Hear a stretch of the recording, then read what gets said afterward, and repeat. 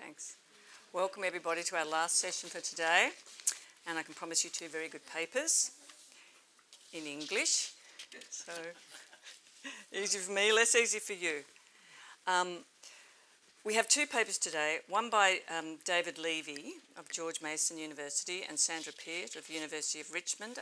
Unfortunately, Sandra couldn't make it today. She has um, significant family responsibilities that made it impossible for her to attend, but she sends her regrets. So Dave will be presenting their co-authored paper on egalitarian themes in Adam Smith and his successors, progress, improvement and social reform on, on her behalf, as well as his own, obviously.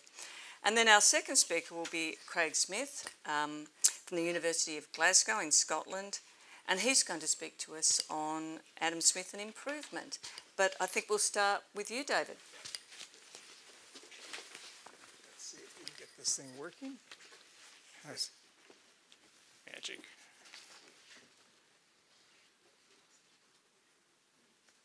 Magic. Okay. Um, what I'm going to do is put the big quotes up and not read them. And then what I will read is our discussion of those. And obviously, the quotes are controlling the discussion. Yeah, it could be false, but so that's how we're gonna. That's that's how we're going to do things. And whether it works or not, I don't know. No. Okay. Okay. Adam Smith emphasized that all people are naturally equal, although they are not equal, not in equal settings. They are born into different parts of society and rarely make leaps from one stratum, he calls them ranks, to another. Differences, of course, emerge, but these are explained by what we have elsewhere referred to as incentives, history, and luck. Smith's disciples, including John Stuart Mill, continued to expound such a radical hypothesis, and they sought to ensure that the institutional impediments to human flourishing were removed, for instance, by removing institutional barriers that kept women, the Irish, the formerly enslaved persons from obtaining full personhood. The 19th century saw many successes for the removal of such barriers, but it's not surprising that such a radical hypothesis as human homogeneity was challenged in Smith's times and uh, time and after. Late in the 19th century, economists such as William, William Jennings, William Stanley Jevons came to accept an alternative view whereby people were inherently different, thereby opening the floodgates for the, the idea of so-called improvements by the state. Um, as noted, Smith emphasized that all people are inherently equal, though they are subject to different and quite unequal circumstances, they end up in very different roles. Smith famously wrote about the street porter, one of approximately 5,000 men in London who carried bags or heavy containers, is by nature the same as a lofty philosopher. His commitment to natural equality is most emphatic when he announces famous passage about the philosopher and the, and the common street porter, where he states that people are indistinguishably similar when they came into the world, and only when they have lived and experienced their respective stations dissimilarities arise. These dissimilarities are the result of experience, the disposition to truck and barter in exchange, and the resulting division of labor that follows a disposition. Um, the Smith argued that different outcomes are a result of the division of labor. In addition, he acknowledged that such deep differences eventually result in people believing that they are naturally different from one another. He attributed most of the differences among people to experience. The difference between the most dissimilar characters between a philosopher and a common street porter, for example, seems to arise not so much from as from nature as from habit, custom, and education. An important part of Smith's project in both his more major works, Wealth of Nations and Moral Sentiments, is to convince reader that the inference of, of natural inferiority is incorrect, appearances the con- contrary notwithstanding.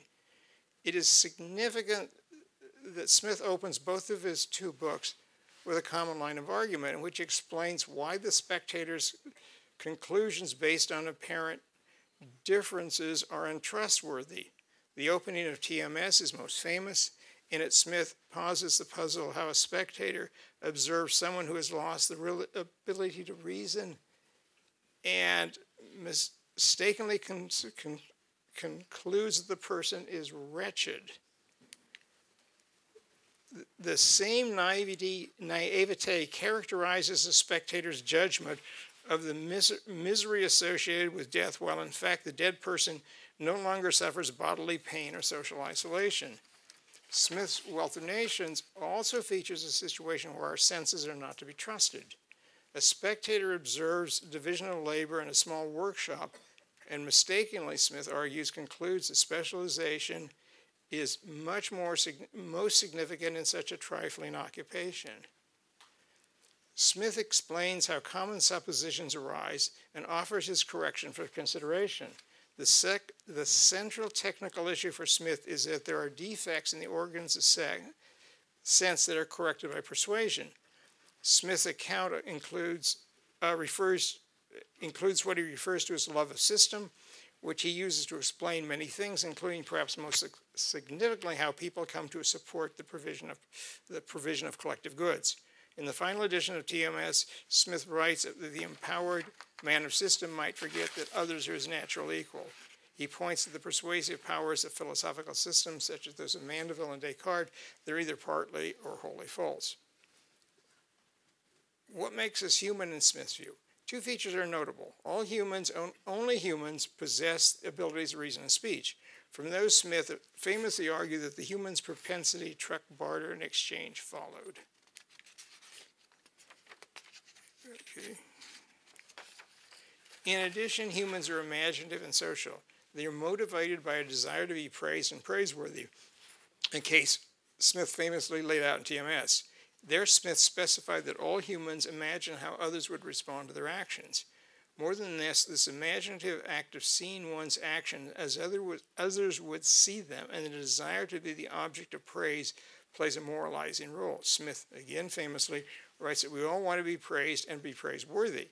We know the difference between undeserved praise and deserved praise, which we obtain when we act in a praiseworthy way, and we seek the latter.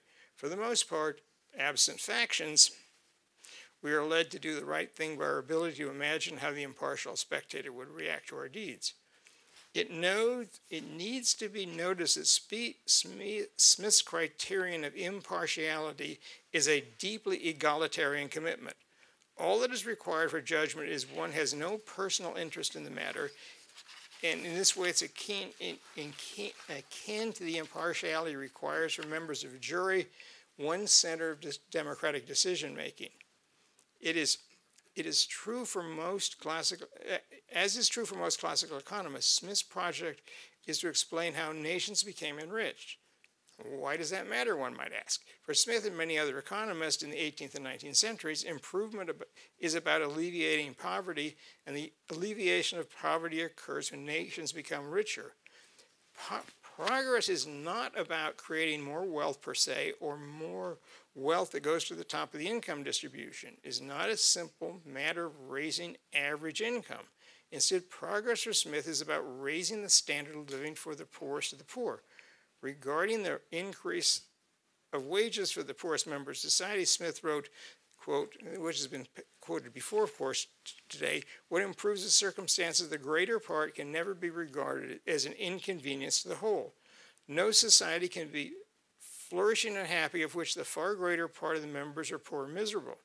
Thus, for Smith, society improves when the circumstances of the lower ranks of the people who make up the greater part of society improve.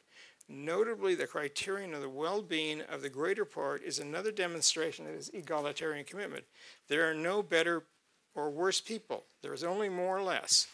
Progress occurs through the extension of the division of labor, which facilitates growth, best for the laboring poor. Growth increases wages and allows people to support their families, which makes them cheerful. Smith favorably compared circumstances in North America, where labor was scarce and wages high and increasing, to those of richer countries, it's like England, where wages were relatively low and stagnant. Smith's argument argument that because the division of labor is limited by the extent of the market and water transportation is the least uh, cost method of transportation culminates in his recognition that an African nation, Egypt, was the center of ancient civilization because, because of the calm waters of the uh, Mediterranean. A second important feature of improvement is that, for, is that progress for Smith is marked by flourishing and happiness. A necessary, although not sufficient, condition for that is the eradication of poverty. Smith used three words to describe progress or lack of it cheerful, dull, and melancholy. Progress is made, marked by cheerful people. He writes that the progressive state is in reality the cheerful and hearty state for all the different orders of society. The stationary state is dull, the declining melancholy. Of course, when Smith published his Wealth of Nations, the economy was about to be thrown into flux as it transitioned from primarily commercial to industrial characteristics. His was a pre industrial time when hard physical labor was required of a significant swath of population. Economic historians have calculated caloric intake between 1700 and 1850, and they suggest that diets of a significant portion of the British population were below net levels necessary to maintain weight. To use Smith's famous example of the street porter, considering that porter was, porting was hard physical labor that requires substantial caloric intake. One estimate is that manual laborers in the 18th century consumed 2,000 calories from beer, stopping at local pubs to fill up. Stop laughing. By, by the time that the, the, the uh, late 19th century political by, by the time the late 19th century political economist William Stanley Jevons published his theory of political economy about 100, 100, years later, porters had all but disappeared from the London landscape, and economists instead focused on pressing issues with laborers working in the factory systems. We return briefly to Jevons' view of poverty and improvements in our concluding remarks below. Evans also suggests that households compensated for a dearth of calories by shifting the share of the family's calories to the adult male workers, which may have severely harmed women and children. Uh, careful work on caloric intake from 1750 to 1800 finds caloric supplies in these decades were so low that crisis mor- mortality resulted from ca- catastrophic events such as famines or other agricultural fluctuations. Smith's worry, words cheerful and melancholy are therefore indication of real success versus abject misery. Life was precarious. One of the most important indicators of this precariousness of life came a short time after Smith wrote was the, was the, Irish, the Great Irish Famine of the 1840s. This singularly important event shaped much thinking about progress and, and improvement in the mid 19th century. The famine was a period of mass starvation, disease, and dislocation. More than a fifth of the Irish population starved or deported the island. Such a massive relocation, two million refugees, weighed heavily on the minds of economists at mid century.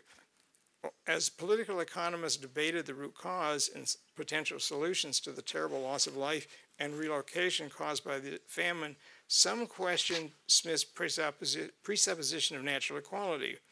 Commentators also questions whether former slaves were able to make labor market decisions or whether women were equally qualified to enter the industrial labor market. There seems to be quite different different top these seems to be quite different topics, but they are connected by the Smithian question and divided answers too of natural equality and whether improvements uh, improvement was to be achieved by um, reforming people or institutions. Um, Oh, I got one more. Uh, Smith's idea of human hom- homogeneity was a response to the idea of natural inequality found as early as Plato and in his own time by David Hume. Smith was singularly fortunate in his disciples. In the debates that followed, S- Smith's follower, John Stuart Mill, represented the Smithian side of natural equality. Mill wrote that people, laborers, capitalists, and landowners are similarly motivated uh, to obtain gain, material or otherwise, at the lowest cost. More than this, like Smith, Mill acknowledged that people in different cultures, he names France and Ireland in this context, are similarly motivated and capable. Consequently, the division of outcomes is not the result of systematic natural differences. Instead, they result from different circumstances that we have called luck, history, and experience, including educational attainments. Mill's statement about this clearest statement about this is contained in an early piece, the 1836, um, on the definition of political economy. In it, he made the case for a separate but inexact science of political economy that treats economic behavior in a social context. He also developed an arbitrary definition of economic people in this essay, while recognizing that people are subject to a complex array of motivational force. He suggests that most of these are unimportant for, for the study of economic phenomena. Maximizing, choosing, economizing behavior, obtaining wealth, becoming happy were central. Other motivations were less significant for economic choice, choice and those might be neglected without harm to the study at hand. Um, Mill wrote that people invariably do what is required to obtain goods with the smallest amount of effort in the existing state of knowledge. As others held that neither Irish nor women nor formerly enslaved persons could be capable of voting or self governments, Mill countered that abstracting from experience and luck, they were the same, equally capable people motivated by pleasure and avoidance of pain, and able, with some education, to vote, govern themselves, or to make economic choices. Some have criticized this thin notion of abstract economic man, but it's important to appreciate the context in which develops this description of economic actors. He knew differences in outcomes existed, but he argued that the Irish peasant, for example, uh, could be effective at agriculture as as effective at agricultural production as the English peasant, if only the circumstances are similar. As it was for Smith, the contrast between circumstances and natural inclinations is a major theme of, of Mill's work, both in the principles of political economy and his many additional pieces on Ireland, and as we shall see, related to women. In contrast to Mill, some writers of the time questioned whether, whether Ireland, Ireland and the Irish laborers were doomed to continual stagnation or poverty.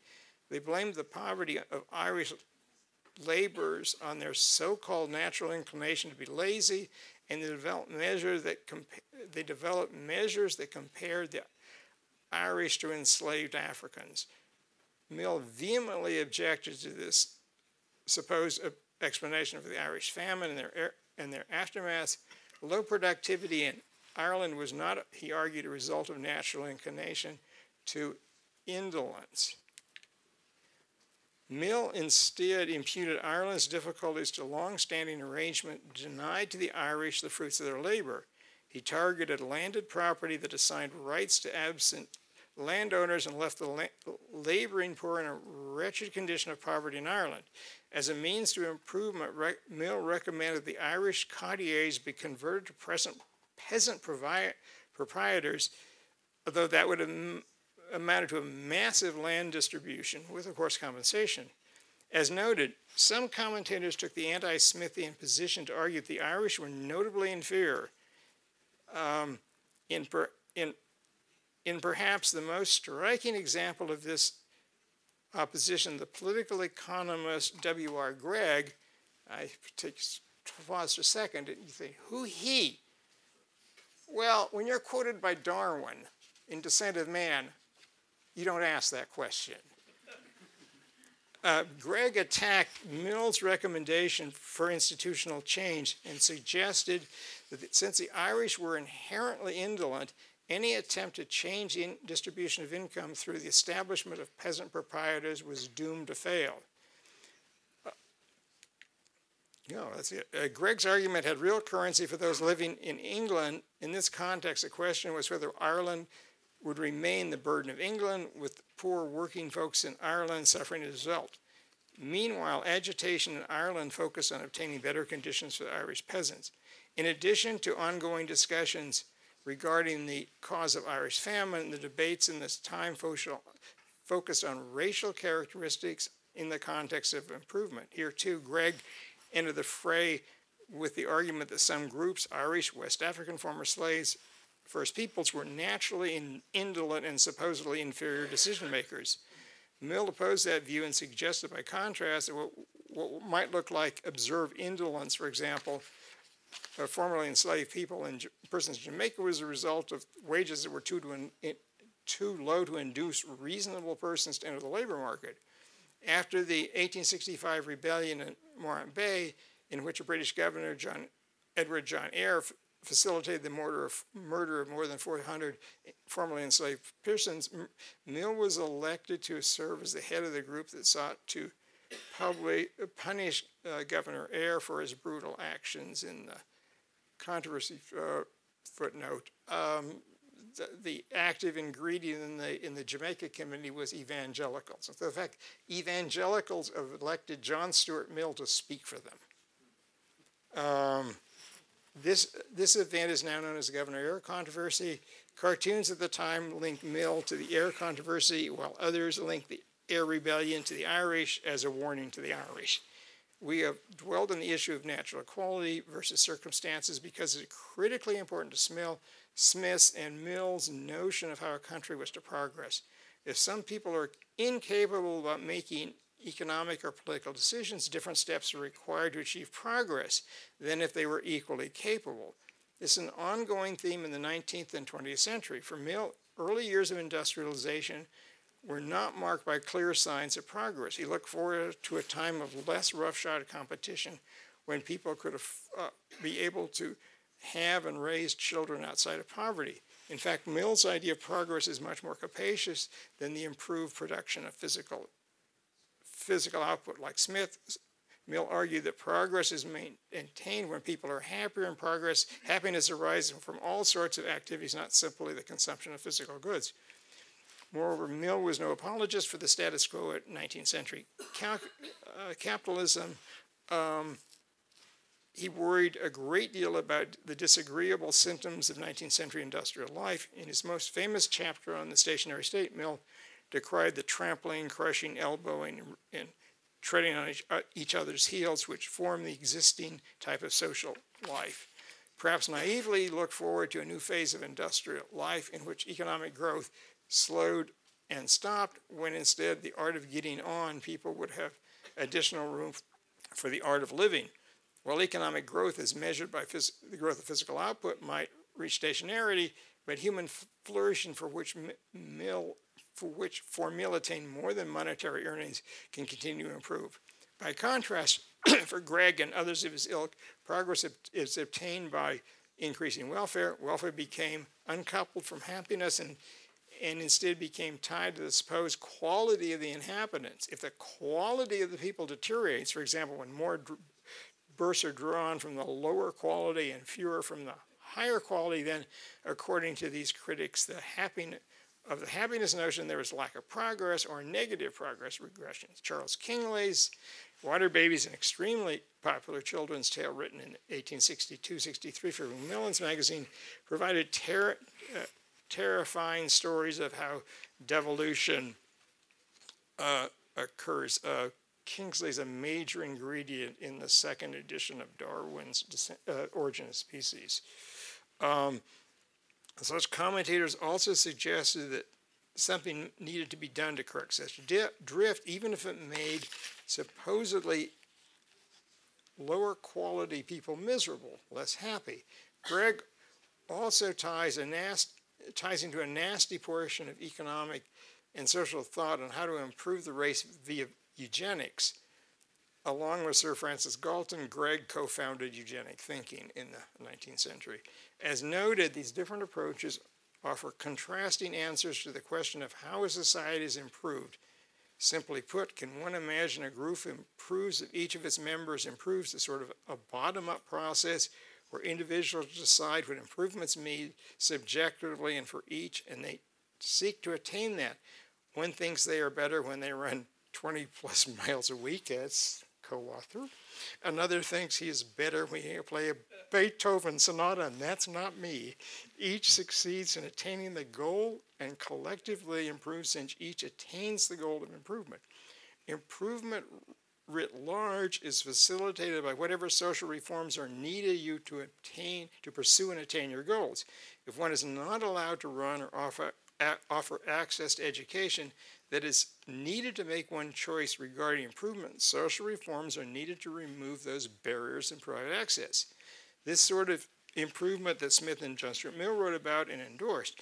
Mill endorsed and spent his life advocating a series of important reforms that he thought would allow people in society to improve. He advocated reforms that place all on the same level to, to, as he put it, to start fair in the race of life. Sometimes these reforms were legal to ensure an impartial treatment of all, for example, men and women. Sometimes these uh, um, in this case, the state was to correct a long-standing run it placed into law many centuries earlier. Alternatively, called for a state to provide positive benefits to a pre- previously excluded uh, groups such as women. In Mill's view and that of Harriet Taylor Mill, women who were uneducated were unable to improve, keeping in mind Mill's notion that one learns to choose prudently by experience a life full of choices. In his view, those arrangements that impose substantial costs on society. That's Mill questioned legal arrangement that place groups in different footings in terms of their ability to develop the capacity to choose and to be happy. Marriage laws in his time were one area ripe for reform. The legal status of women, as he and Harriet Taylor Mill put in their uh, 1869 subjection of women, left women dependent on the good graces of their husbands. While this sometimes worked out, often it did not, since women who were, not, were, were allowed to choose frequently did so at a very young age with very little education or experience in making choice of any sort, let alone of such importance. Mill and Taylor argue that it was no surprise that women often got the decision badly wrong. Mill paid both personally and professionally for his radical views, as the images in the popular press attest. He was not only targeted in the press, but his originality and intellectual prowess had been questioned, with some thinking that he was strong, overly influenced by Taylor.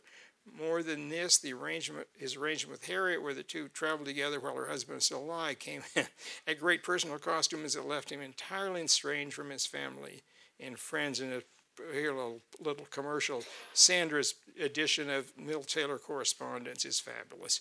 Uh, nothing sort of equality under the law would suffice for Mill, those women who were fortunate enough through inheritance to bring property into the marriage, and the few who were able to earn property during the course of the marriage were to have access if the marriage dissolved. A woman's, quoting, a woman's inheritance or gains ought to be as much of her after marriage as before. The rule is simple: whatever would be the husband's or wife wives, if they were not married, should be under, be under their exclusive control during the marriage, which need not, need not interfere with the power to tie up property by settlement in order to preserve it by the children. That's from subjection. Mill Hope pointing, pointing to the legal arrangements in several states of America that secure to women the right to own property independent of marital status. Mill also called for reform of social arrangements so women would have access to education to the same extent of men over the course of his long writing career, he vigorously opposed the custom of educating women to be wives and only to be wives, and he insisted that women be, women be offered the same educational labor market um, opportunity as men. And our the conclusion section is an alternative to Smith. As as noted above, one's view of human nature, homogeneous and otherwise, was associated with contrasting policy recommendations. For those who held with Smith and his followers, human were e- humans were equally capable of self improvement, and there was no need to, in, in, to impose improvements on them from above. What was required instead was the removal of impediments to self improvement, whether for women, former slaves, the Irish. A contrasting notion departed from that of Smith in an attempt to make the case that some humans are superior to others. Those who were inferior were naturally inclined, they argued, to make poor economic choices and were too weak and too prone to vice to improve themselves. Economists entered into this discussion and used time preference as a supposed indicator of inferiority, suggesting that the natural inferior would save too little from their future and spend unwisely. For those such as Greg, who departed from the Smithian notion of homogeneity, um, improvement was is to be imposed on supposedly inferior people from the top using po- policy measures such as forced sterilization. Others, such as Jevons, did not enter the biological remaking, but instead called for a slew of policy measures to remake people and to ensure that they were improved in a top down fashion. In his theory of political economy, Jevons recognized that consumers did not fulfill his utility maximizing con- conditions, and he outlined the, the, the key reason for the systematic mistakes. There were, in his view, people, especially poor people, systematically systematically undersaving, overworked, married poorly, underinvestigated in, in education, and acquired what Jevons regarded as inferior taste. These were situations that warranted a wide array of policy intervention, interventions to move people closer to his all knowing, perfect consumer. In contrast with Mill's emphasis on, re, uh, remaking, there's little evidence to indicate that Jevons believed people are motivated to find ways to improve themselves.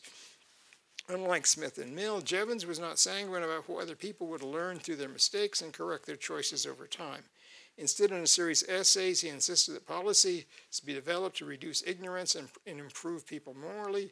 Roughly speaking, the two areas for intervention corresponding the, the improvement improving the lot of the people by helping them see in the future and giving them the ne- needed willpower to hold, hold off spending too much in the present. By besieging the citadel of poverty and ignorance and vice, Jevons recommended a series of interventions to improve the poor in both dimensions. In his view, for example, poor women were prone to marrying the wrong sort of man and working in factories where it would be prudent for them to stay at home with their small children. This issue required a radical policy intervention. In similar, along similar lines in his theory of political economy, Jevons turned to a policy solution for the case of gambling. For the gamester so devoid of taste that to spend money over the gaming table is the best use you can discover. Economically speaking, there is nothing further to be said. Is said. The question becomes a moral legislative or, or political one. Jevons thinking about remaking the subject is evidence, further evidence in his 1869 inaugural address as a president of the Manchester Statistical Society Again, his preoccupation with intemperance and apparent low rates of savings is evident. He emphasized the need not for reducing ignorance, not only reducing ignorance, raising intelligence, but also improving their morals, improving their previous, improving their provident habits. he, he insisted that improving the standard of living for the laboring class would have no longer, no lasting impact if were not accompanied by a change in character. General education was, in his view, the measure which most nearly approaches a panacea for our present evils. And Jevons consequently endorsed a policy of compulsory education that would soon come to fruition in England. But education was not sufficient in Jevons's point. In a series of articles published in the late 1870s until his death in 1882, Jevons spelled out his plan to besiege the citadel of poverty. Taken together, these articles reviewed revealed that he had in mind a vast remaking of the tastes of poor people. Even, an even more telling step towards social reform, one that Jevons did not take, and that's important, is that of supposedly breeding out poor characters and breeding in good ones. That is eugenics.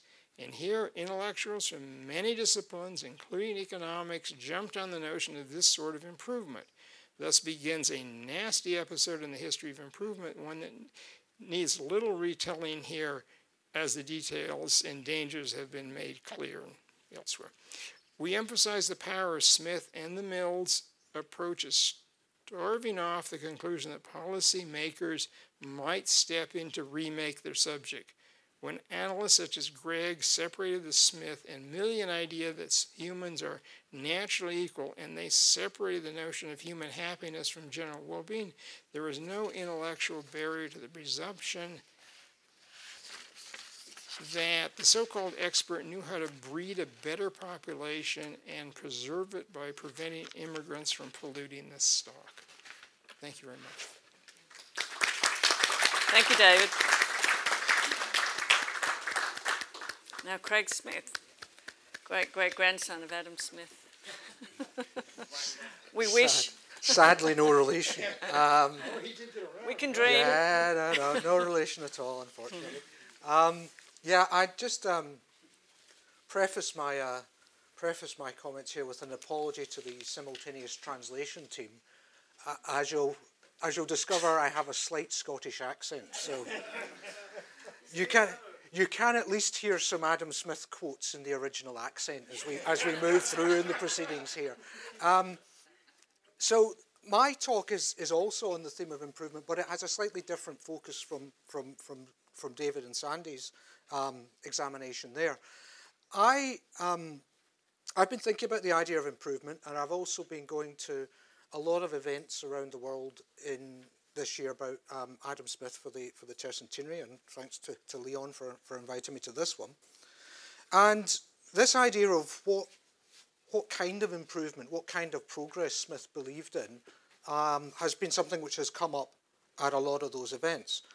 And curiously, even though I've been going around the world to lots of different events about Adam Smith, my own current research on Smith has actually been about Scotland and about things that Smith says about Scotland and things that Smith is interested in and how he uses Scottish examples.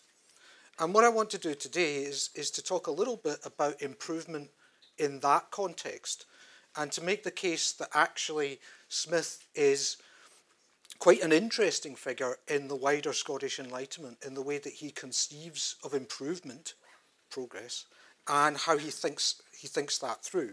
And um, I'll start off on the uh, theme of accents here with this quote from David Hume. Is it not strange that at a time when we have lost our princes, this is Scotland, our parliaments, our independent government, and even the presence of our chief nobility, are unhappy in our accent and pronunciation, speak a very corrupt dialect of the tongue which we make use of, is it not strange, I say, that in these circumstances we should really be the people most distinguished for literature in Europe?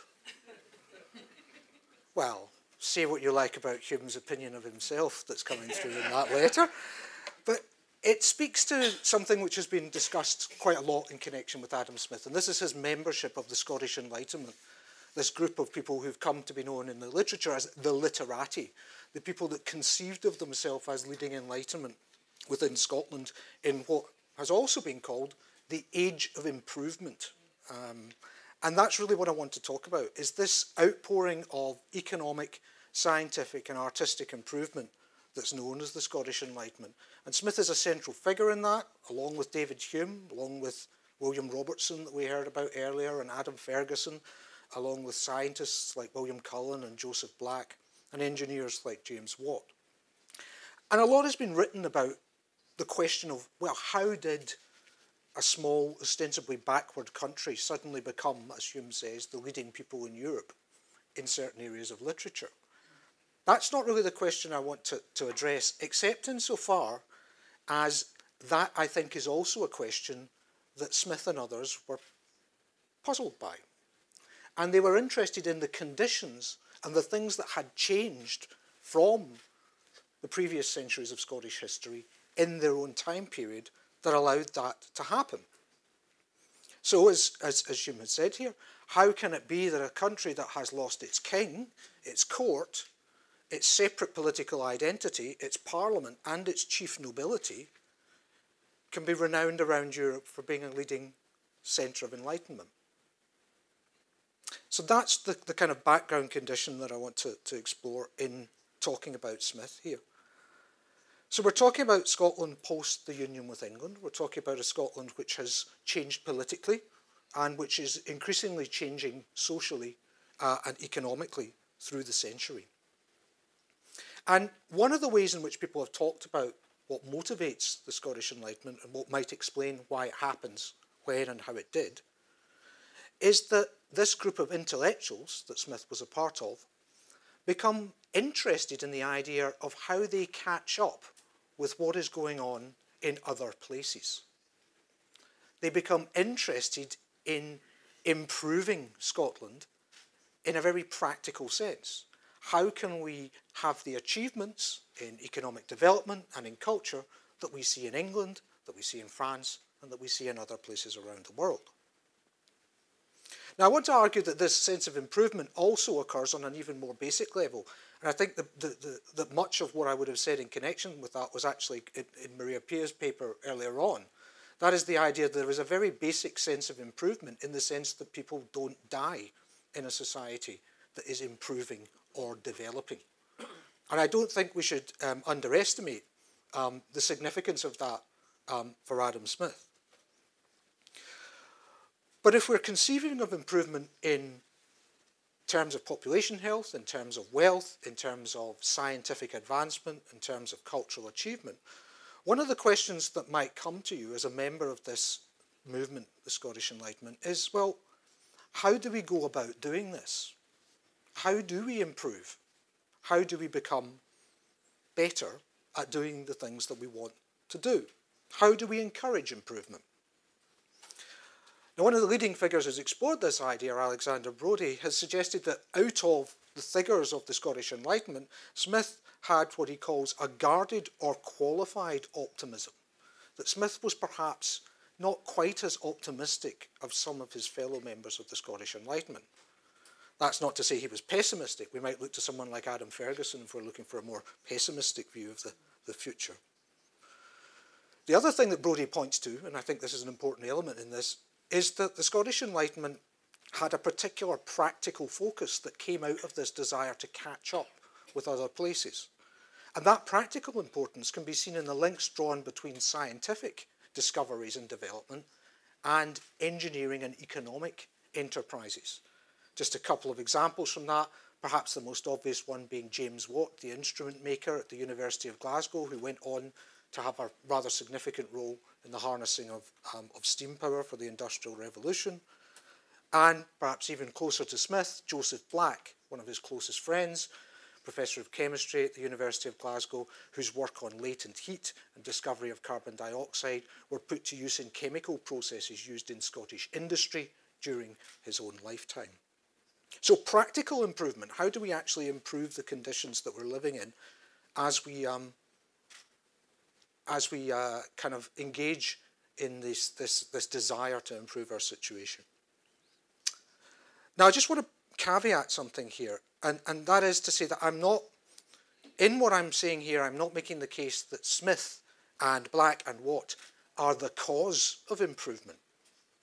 What I want to suggest is that Smith and Black and Watt are trying to understand processes that are already underway and to help them along. This is a project of deliberate improvement. In the case of Smith, I then want to make the case that The Wealth of Nations, in, order, in addition to being a work of economic theory, is also a deeply practical book. It is a book that is interested in drawing lessons from empirical evidence and thinking them through in a particular setting. It's a book that intends to use this new social science to tell us what conditions are things that foster the chance of improvement and economic growth. And he gives us answers, many of which we've touched on in the papers earlier um, today. Political stability, the rule of law, property, rising wages, access um, to education. But there's also, I think, a sense in which what's going on in the Wealth of Nations is one which draws in examples from Scotland. And we've again touched on a couple of them today. So we've already talked about what Smith says about education in the Wealth of Nations. And there, many of the examples are drawn from the experience of the Scottish education system. Some aspects of that he thinks are good, some aspects he thinks are bad. Similarly, when he talks about religion, as um, we were discussing again earlier on today. He talks about the Scottish system of providing um, churches uh, in every parish. Elsewhere, he talks about the Scottish banking system. So Scottish examples are everywhere in the Wealth of Nations. But it's not, they're not used parochially. They're used to illustrate wider points. But what I want to focus on here is something a little bit more parochial, if you want to put it that way.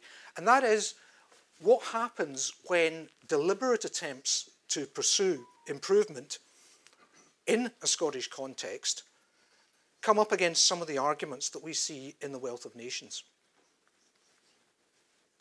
So, I want to talk about what might seem some very obscure Scottish local government associations. And I'm, I'm not going to talk about the even more obscure ones, which are the ones that I've been doing uh, uh, other research on. Um, but these organisations were bodies that were part of the Scottish Enlightenment, that were part of this group of, or were personnelled by members of this group of literati who would meet and discuss ideas in the clubs and societies of Edinburgh, where Adam Smith was one of the central figures.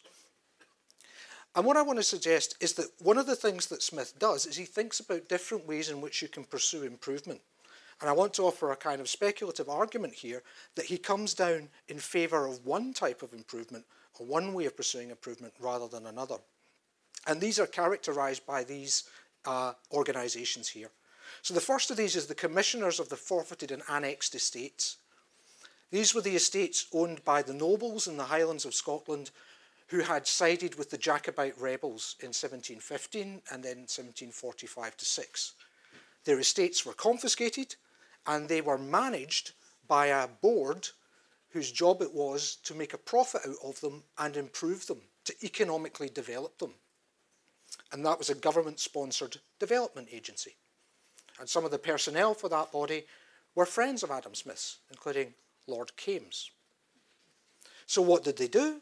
Well, they reformed the organisations. They set out to um, change the structures of the way the farms operated and introduced new farming techniques.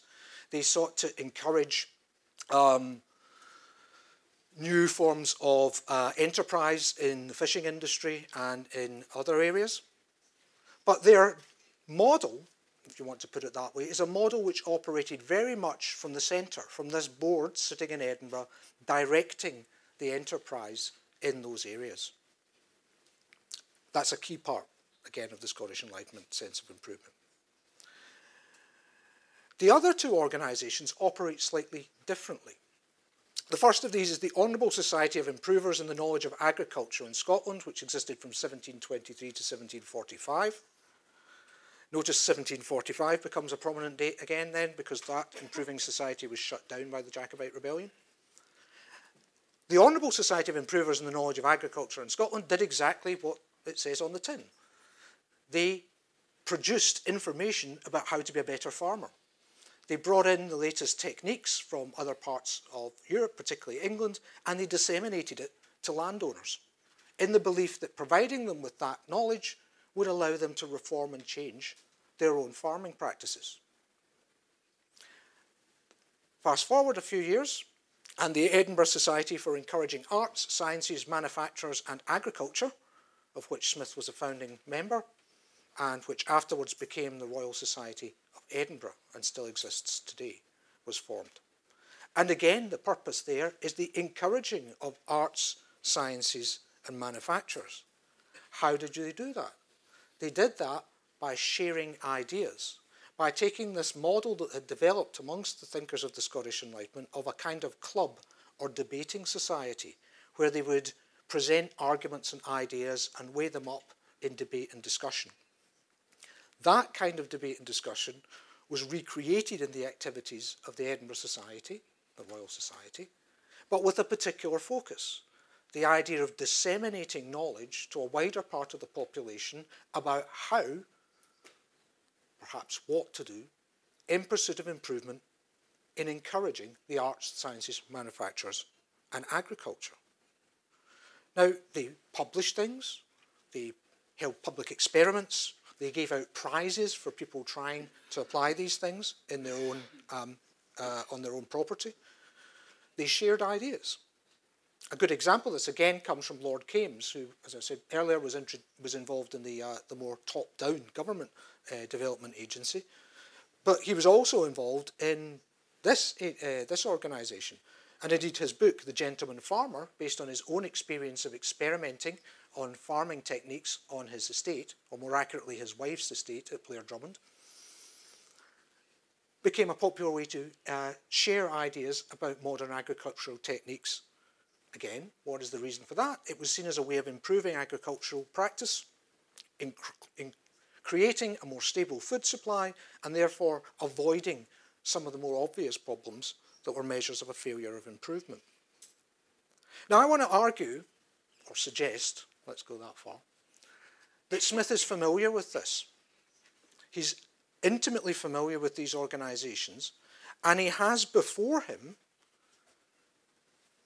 two potential models for the pursuit of improvement.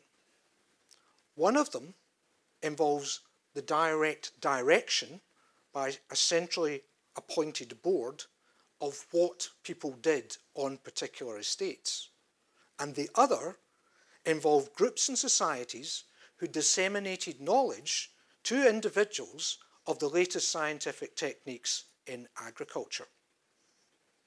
Now, why do I want to make this case? I want to make this case because I think this is a line of argument that appears in the Wealth of Nations, but does so in response to a very particular um, prompt.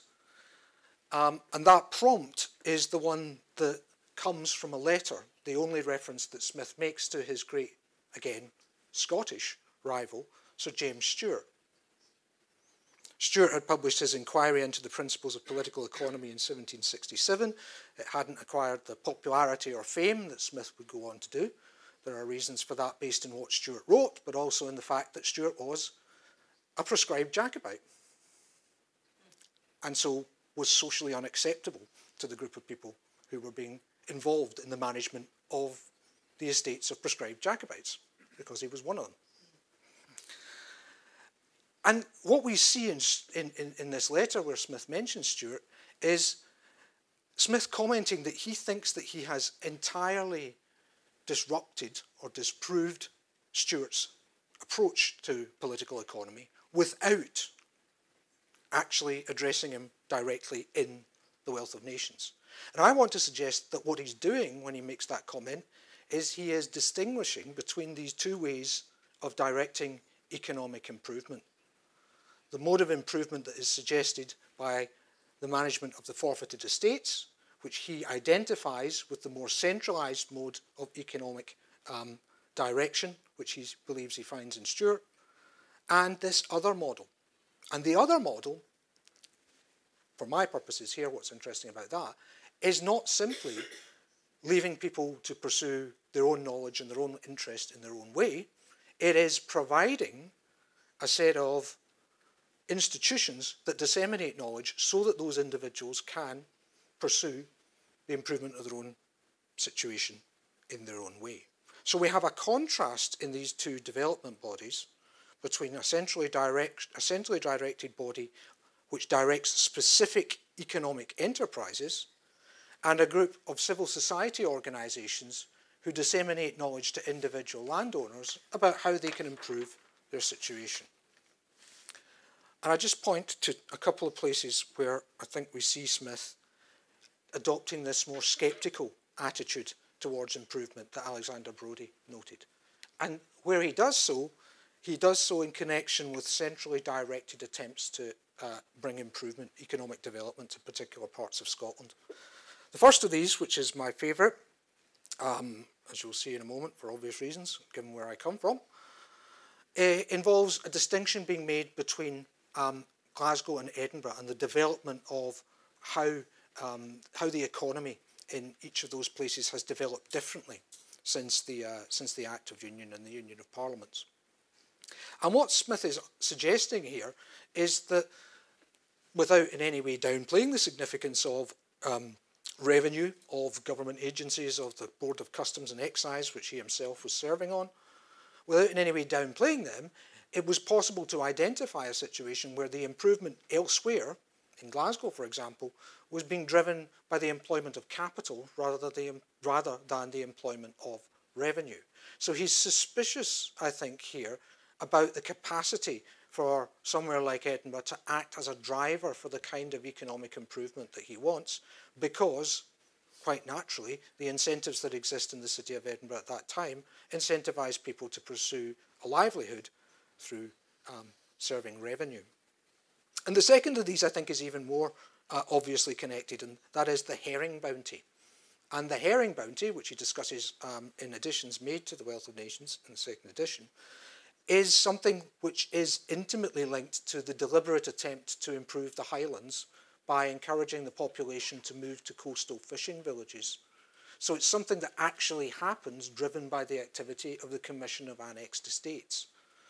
And we know what Smith says about the herring bounty. He thinks it's one of the most egregious examples of a bounty becoming the object of the economic enterprise and not providing the good that it set out originally to do. So what we see, I think, in these two examples, and I think there are others elsewhere, is Smith thinking through some actual kind of policy issues that face him in the Scotland of his day. What does he do? How do, do he and his friends pursue improvement, encourage improvement, develop um, Scotland and its economy, and what lessons can be learned from that and applied more generally? Now we can see this, in, I think, in a few uh, places. Just put up a couple of quotes here. Um, where the, the, the, the contrast that is generally made is between situations where individuals engage in activity or situations where statesmen inefficiently attempt to direct individuals.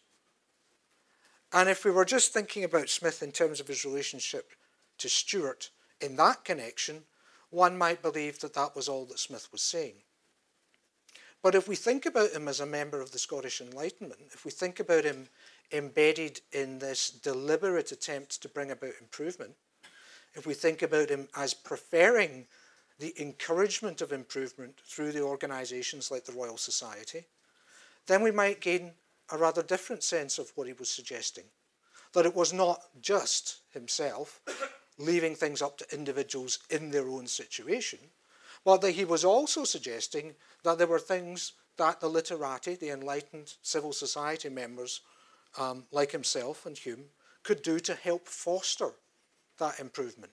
Not by telling people what to do, but by providing them with information that might help guide their own decisions about how to deploy their own effort and capital on their own land.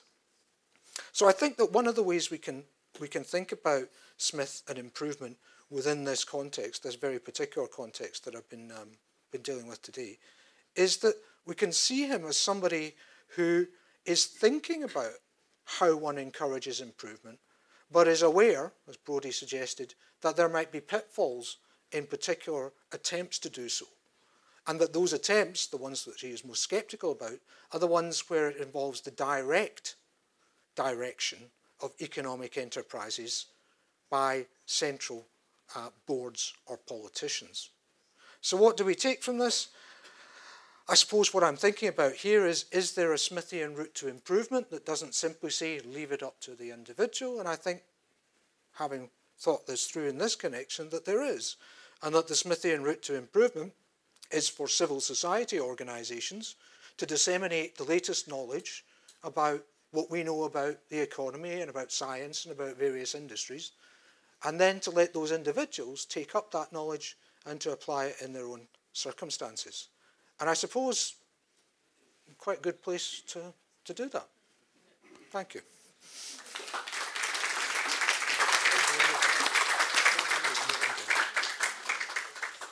Thank you, Craig. Learning new things the whole time. And now we'll start taking some questions.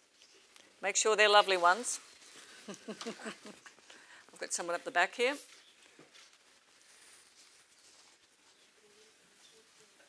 ¿Se escucha bien? Sí.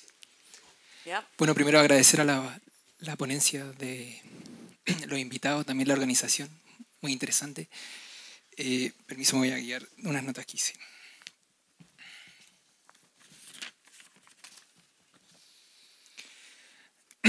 Bueno, mi pregunta es un poco conclusiva. Quizá debía haberla hecho el día miércoles, pero aprovechando que están todos los ponentes anteriores, parece interesante. y si es que se motiva también de, de intervenir.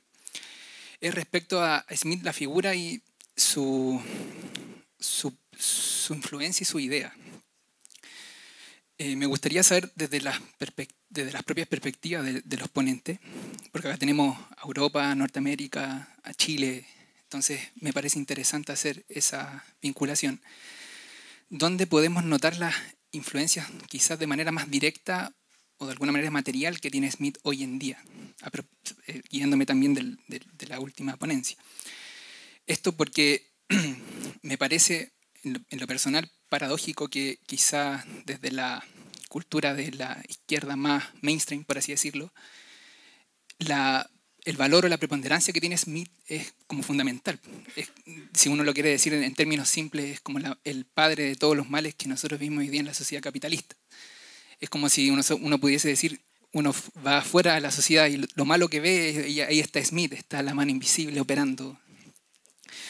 Entonces me gustaría saber, hoy en día, si, nos, decir, por eso hablo de algo más directo, ¿dónde podemos ver Smith? Salir, no sé, pues, nosotros hoy día vivimos una sociedad mucho más globalizada, con sus características propias, por supuesto, pero en sus respectivas continentes, en sus respectivas partes, ¿dónde uno puede ver Smith hoy día? Si es posible verlo o si quizá ya está demasiado diluido, en, en, en, ya más son más ideas o es más eh, tema académico.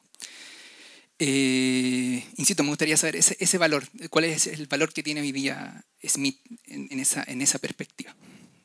Eh, es una pregunta general, por favor. Gracias. Sure, is this question to, to Craig or both the speakers? Craig?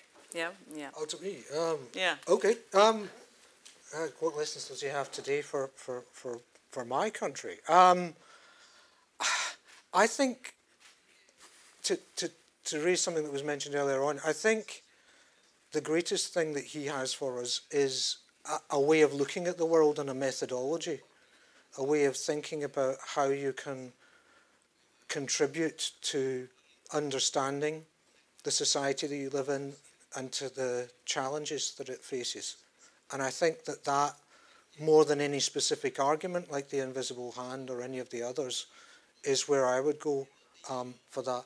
Um, on a personal note, um, I also like the fact that he, um, and this is very specific again to Scotland, that he was a unionist and didn't like nationalism. Thanks, Craig. I think. Oh, you've had, you Yeah. want to respond? the um, I think there's a point source, and the point source is when the Soviet Union collapsed, and scholars of the left, subject to correction, of course, um, thought, huh, maybe we should look into this capitalism stuff. And just about that time, the Glasgow edition had been produced, and scholars could get the entire corpus of the Glasgow edition for $55 in Liberty Fund paperbacks. And being scholars of seriousness, they read Smith and said, This doesn't sound like the editorial page of the Wall Street Journal. And so that the the error correction, you know, and so why when when, when Sam can, can talk about left Smithianism, people know what he's talking about. Because scholars of the left read the real words and said that gracious, there's this vulgarization. And that the Smith the the, the real Adam Smith wrote things that are so different than the Smithian caricature that we've got to we've got to rethink things. And I think that it's not only the, the great scholarship of the the Glasgow edition, but the fact that you could you know you get 55 bucks for the corpus. I mean, you know, you know, okay, that's 1982 dollars, right? We got it deflated, but you know, but whatever. So I think that that's what you can do is give people the real text. And then, since they're honorable people, error correction will occur. Now, of course, that, that, I've just assumed away factions. That may be hopeless. $52. Free postage. Came out. Huge bag free. Yeah. Those were the days. Aldo's got a question. Sí, muchas And you've gracias. got one too?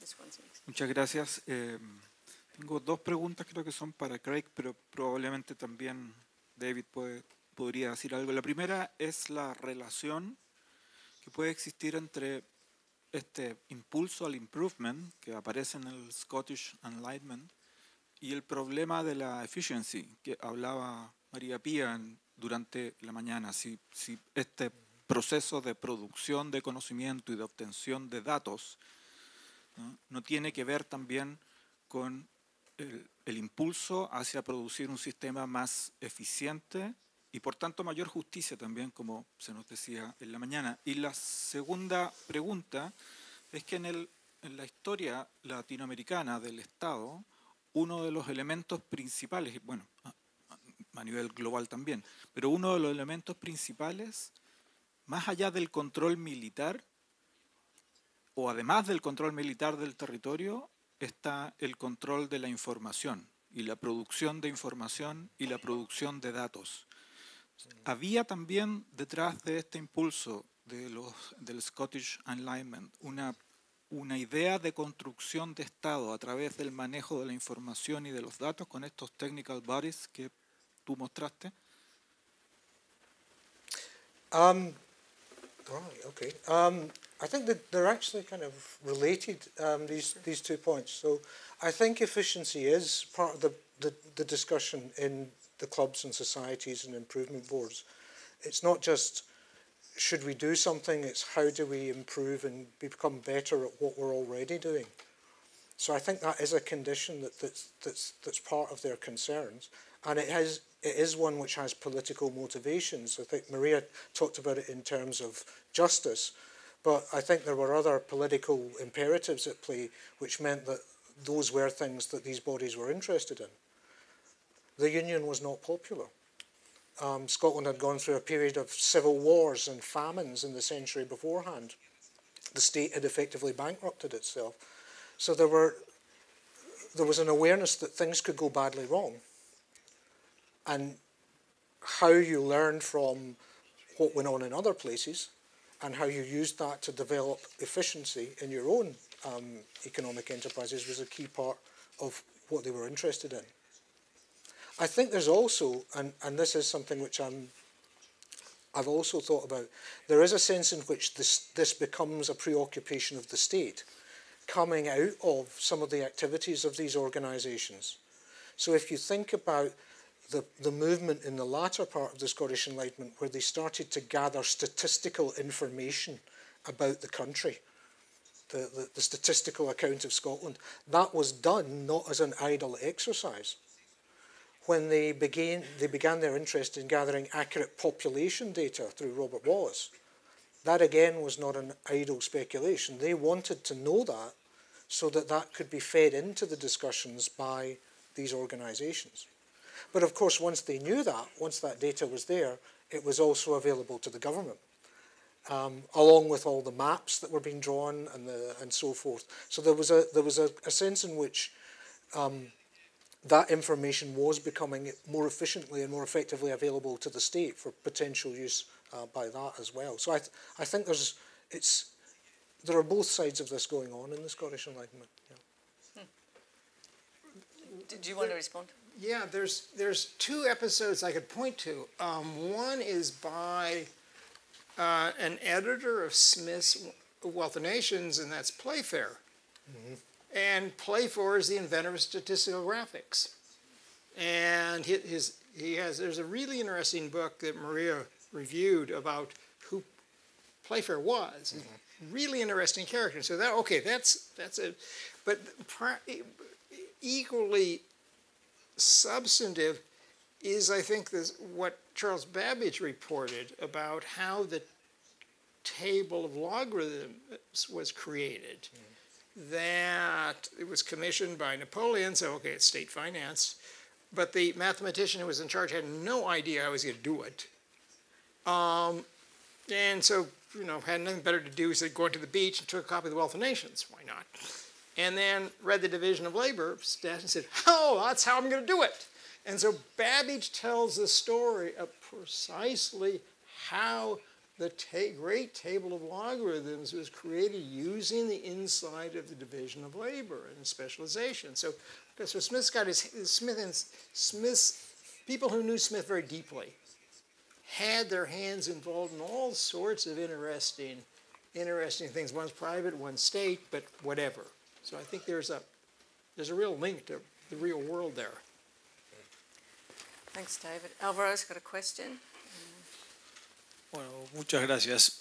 Eh, parte importante de mi pregunta es la segunda que preguntó Aldo, este, pero le, quería complementar con una pequeña preguntita más también para el profesor Craig Smith.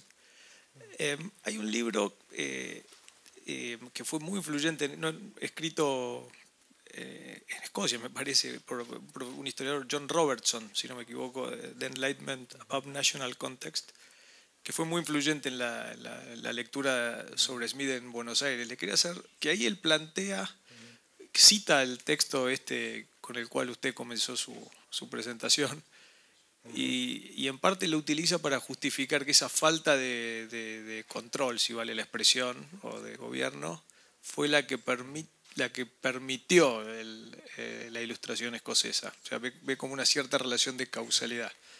Me gustaría saber su, su opinión sobre esa tesis, si le parece plausible o no. Eh, eh, me pareció que sí, de la primera parte de la conversación, pero justo me disparó al libro de Robertson y ahí medio me, me desconcentré, pero quería saber su opinión. Gracias. Um,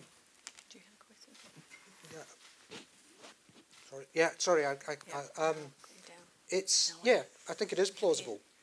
Um, I also think it's part of what is in the background of what I was trying to argue here about alternatives, and so the alternatives being their organisations which form in what we would today call civil society, which are joint enterprises to organise and to, to, to, to, to facilitate improvement, and the attempts to do that of more state-backed organisations.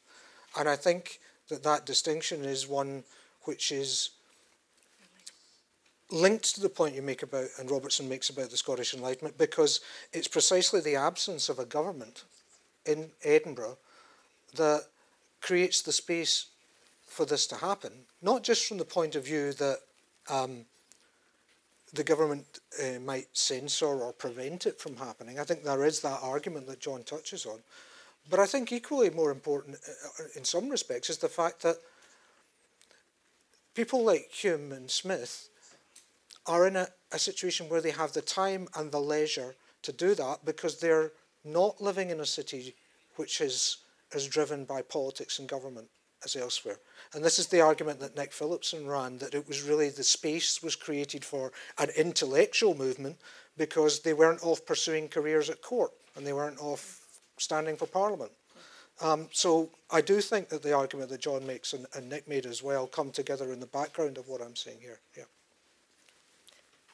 Leon? No, ¿Aló? Eh, cuando leo lo, los dos títulos ahí veo ¿no cierto? igualdad en Adam Smith y sus sucesores, progreso, mejora y reforma social. Y mejora, la verdad es que es progreso, improvement and social reform. Y en la presentación de, de Craig Smith decimos Adam Smith y el improvement.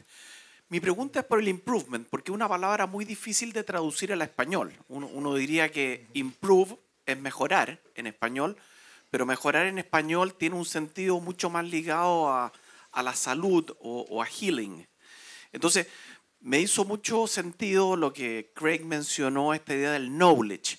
¿Cómo definirían ustedes, ya que improvement no es lo mismo que progreso, cómo definirían ustedes improvement, que es una palabra, yo diría, muy difícil de traducir al español? ¿O cómo entendería Adam Smith o, o la ilustración escocesa esta idea de improvement? que tiene que ver con el progreso, pero no es solo progreso. Esa es la pregunta. Yeah, um, that's that's a really good question. Um, uh, I mean, I think my first stab at it would be to say that it, it, it introduces two ideas which are perhaps distinct from from progress.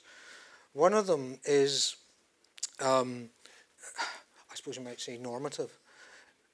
Uh, an improvement is always better.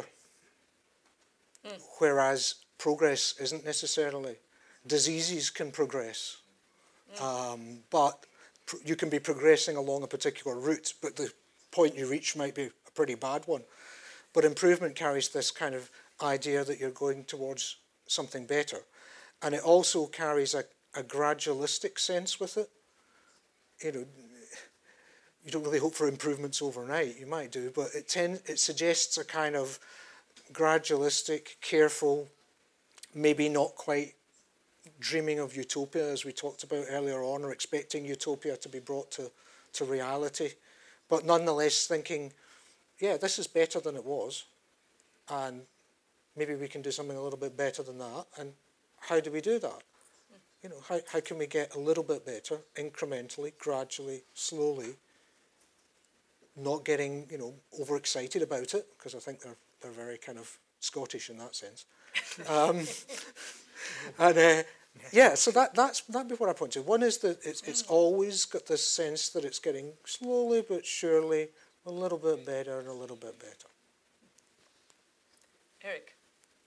Thank you. Um, my question is for David, but uh, it's indirectly also for Greg. Um, so the way you set up, uh, and it was really great to have you together because I think the papers really complement each other.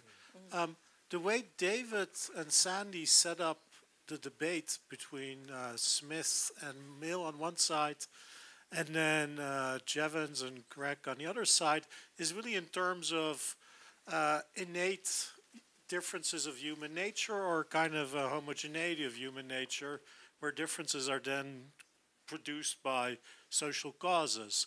But that leaves Mill's actual position a bit awkwardly described, because Mill does think there's culturally important differences that are stadially expressed. He's a cultural chauvinist of some sort. That that's very clear in representation of government, very clear, I think, also in of liberty, even, and various other places that are less well studied. And I don't feel that the distinction really does justice to that part. Because it looks like Hume does think that the English have a kind of mission to to generate cultural improvement, such that, to use that terminology, um, uh, in a kind of uh, uh, uh, paternalist way in various places. Now, to put this, make this precise, this actually echoes a debate that I think uh, Craig is connecting to. In part, it's a debate between Hume and Smith, namely, um, do we have to respect the cultures of the backward peoples on the British Isles? Hume says actually Edward was a great king because he destroyed the Druids in Wales and you know um, and he improved things. Smith says, well, you know, this is not turning out so well in Ireland and even in the Highlands. And then Anderson comes along, uh, and I think actually the passages you're respond you're picking up on says, no, actually, if we colonize the Highlands, we will improve their culture as much as this this other stuff that might do.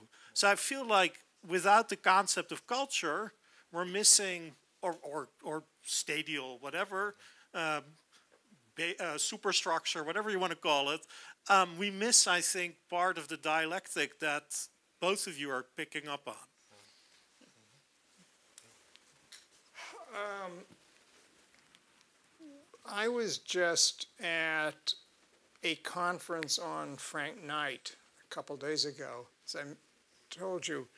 And one of the things I think that connects both Knight and Mill is they both have what I, we're taking to calling an exploratory theory of preferences, right? And so instead of thinking about and thinking about in statistics of a fixed model to to estimate, so you have an, an, an exogenous model, the preferences are endogenous. And so I think that you, and you know, you, what you want is you want higher and better wants. And so that's going to be, that's, I guess we're treating that as orthogonal to the argument, but maybe we're, we're playing fast and loose with that. Maybe there's, maybe the you know the statistical distinction I want to make isn't doesn't really cut it, and so that there's some there's stuff going on. But that's a really that's that's a really penetrating question.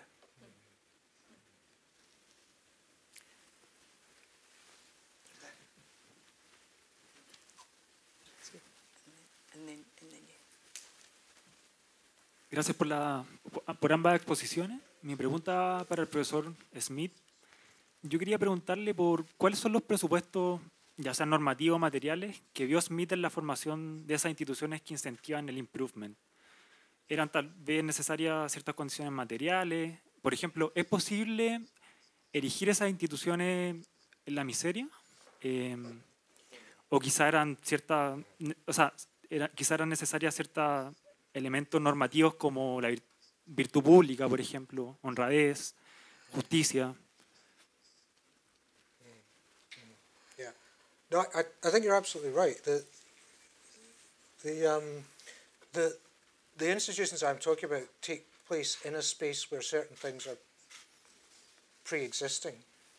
A stable legal system, a stable political system, a degree of economic development, the space for an educational system that could produce the people who would then go on to join these clubs and societies and organisations all of those things are the things that, that are, have been used as ways of explaining why the Enlightenment took the form that it did and why it happened in Scotland at the time that it did, because those things were there.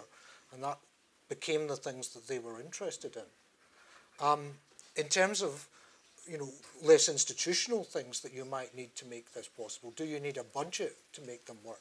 Well, the commissioners of the annexed estates had a budget. They had a lot of money because they had all the money being made mm. by all of those estates. Mm. And Smith's point, uh, I, think, and the discussion um, that, I, that I wanted to get across here was that he was sceptical about how they were using that money, particularly in relation to what they were doing with fishing. And less sceptical, perhaps, of some of the enterprises that were being encouraged on, by, on the land of private landowners who had gone along to a meeting of the, uh, the Society of Improvers and heard about, I don't know, rhubarb or potatoes and thought, you know what, I'm going to plant rhubarb or I'm going to plant potatoes or I'm going to do this and I'm going to give it a go. Um, and I think one of the interesting things about that is they often made um, a loss because they would go and try and do something that wasn't going to work on their land. But they didn't really know that at that time, so they were experimenting. They were trying to do um, new things in new ways, and, and, and, and very few of them, I think, actually made a lot of money out of it. So I think what, what was more important there was, was that they were willing to, to, to go along to take on these ideas and then to deploy their own capital. Did those societies need money to do that? Not really, because all they needed was a room mm. and some alcohol. nice. Got a question here. Eh, gracias. Eh, mi pregunta es para el profesor David. Eh, me gustó mucho la conexión de John Stuart Mill con Adam Smith, en particular la parte que usted habló sobre Mill y su em, teoría de la igualdad y cómo las mujeres fueron involucradas en eso. En la teoría feminista, y diría en la, teoría feminista en particular, particular liberal, claro que se le, se le atribuye mucho a Mill como una de las personas que habló sobre la igualdad entre mujeres y hombres en un principio, ¿cierto? Em, y quería preguntarle entonces si se puede encontrar esa, esa lectura también en Adam Smith eh, si es que hay alguna lectura feminista y de igualdad de género particular. Good luck with that, Dave. let, let, let, me put in a phone call to Sandy. um, oh, golly, there. How about how about the answer that's above my pay grade? Yeah. oh, um, I mean, everybody knows, everybody here knows that the spectator doesn't really cross gender lines. And so that's going to be, um, um, but I don't, you know, in some, in some important sense, I don't know what to make of that. I don't know what, I know, I don't, I don't know what to, um, because the, when the, you know, when the, when spectator crosses, you know, when you spect, you know, you, you think about the dead, you're going to get it wrong. So, and when you think about the insane, you're going to get it wrong. When you, so, I mean, so that's a, that's the, it's a clear in the, in clear in TMS, there's a, a gender barrier but the consequence you could draw from that is, oh, uh, my first answer is above my pay grades, right? we can't help you. Thank you, but it's a good question. Uh, now we have Maurizio. Yeah. Uh, on improvement, Greg, because you've mentioned improvement, okay, nice, and you've uh, uh, called our attention to to to to the to the diatribe Smith versus Steuart, which is obvious because uh, he was a, a Jacobite, the son of a bitch, a Jacobite. Okay, but in this point, but for instance, in what refers to, and I think, I think, I presume that uh, so far as Smith, uh, each two paragraphs mentions uh, Steuart, uh, the statement, the statement, the statement. Uh, Smith is not very very fond of statesmen. You mentioned the, the, that famous sentence. But on the other hand, both defended some uh, similar policies. Uh, let me say, on mint rate, both defended for analytical reasons, uh, easy to demonstrate. And if you go to Smith, uh, and if you go to the chapters on taxation, he defended A, B, C, D on taxation on book five because they were logical uh, achievements that, uh, of his mind of an analytical economist. So, so, so not only lessons for improvement, but but but uh, lessons or suggestions or teachings that, that came from their analytical uh, mind frame both uh, uh Steuart uh, uh, and, and Smith and other economists that, that were inventing the discipline and presenting practical solutions concerning economic policy. No, I, I, I, agree with that. I, I think one of the the interesting things about the relationship between them is that if you go and look at the context and the actual some of the detail of their particular arguments, they're relatively close together on a lot of the, the, points. So what is it that Smith thinks he's done when he says he's entirely refuted Steuart's system? It can't be these specific things that he's come across. So it has to be something to do with some important part of Steuart where there's a clear breach or distinction between the two of them. And for me, that's in the the the the, the, the very notion of the relationship between politics and economics that exists in the two of them. That's where the difference is. I don't think it's absolute because I don't believe that Smith thinks there's no role for politics. I don't think that's sustainable. Um, but there's something about the, the tenure of the way in which Steuart thinks about what the role of the government is or governance is in economic um, enterprises which is different between the two of them. So that's why I wanted to go for this and this idea of improvement. And I think that's the, the I think that's one of the ways into it. Uh, and I think you know there are people who've made the case that um, you'll know better than me is is that, that Steuart gets this from the continent. He gets it from the time that he spent as a Jacobite exile on the continent, and that's where these kind of ideas are, are things that come through to him. But what I find interesting is that you actually find it in a very clear by, um, uh, contrast between these different models of, if you like, development agency that you see in Scotland before you, where one of them is Steuartian and one of them is, is, is Smithian, mm. I would argue. Uh, one more question, and then we'll have to wind up. Yeah, just here. We started a little late, so we've got time. Eh, profesor Smith, bueno, muchas gracias a ambos por la brillante conferencia. Eh, ¿Qué relación puede haber justamente en este, esta forma de entender una sociedad organizada desde la sociedad civil y lo que Smith llama el deseo de mejorar la propia condición? Eh, ¿Hay alguna conexión eh, en la psicología moral? ¿Tiene alguna idea si una sociedad organizada o autoorganizada emergente es más afín a nuestra naturaleza o, o, no? Esa es mi consulta. Mm. Um, well, Um, i I think one of the things that your question points to is, is something which relates back to this idea of, of the difference between improvement and, and progress, perhaps, and that improvement, I think, is a is a very wide uh, phenomenon for the thinkers of the Scottish Enlightenment. It's not just about wealth. Wealth is part of it. It's about culture. Mm. It's about science. It's about morals. It's about a whole range of different parts of human experience.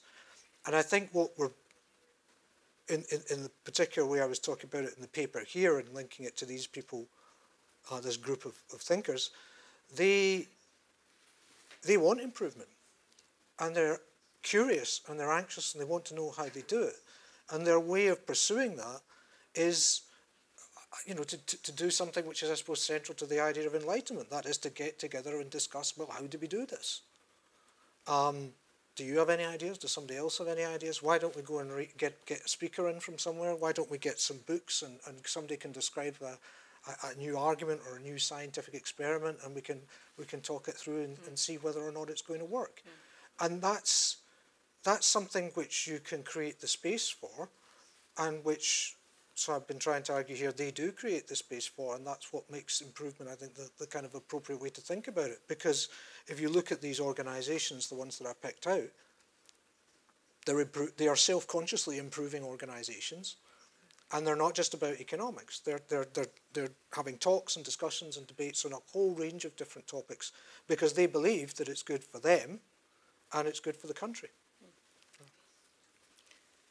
Okay, thanks, Craig. And I think we can wind up now. So we we can end today's session on this these these two um, wonderful talks that integrated in a very nice way. And but before we put our hands together um, to thank them, can I just thank the translators? Uh, um, Ryan and I were t- talking earlier, Absolutely. and uh, we. We were saying we just couldn't get over how sophisticated and fast the translation was. Like you've got these uber class of highly sophisticated, highly educated translators. Uh, so we really appreciate um, the work that you're doing there. You must be concentrating very hard. But also now let's thank our two speakers for beautiful papers.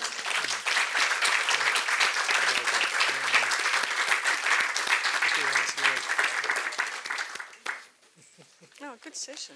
That was fun. Mm.